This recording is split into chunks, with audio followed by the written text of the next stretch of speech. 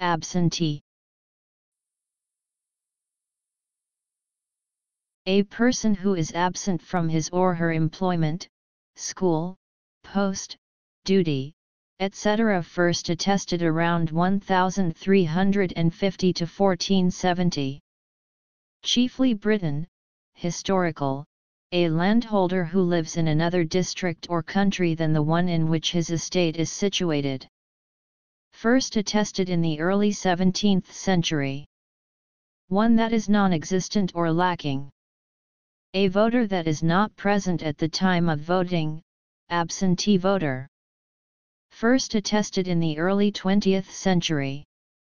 Attributive, pertaining to one that is absent. First attested in the mid-19th century. A B S E N T E E Absentee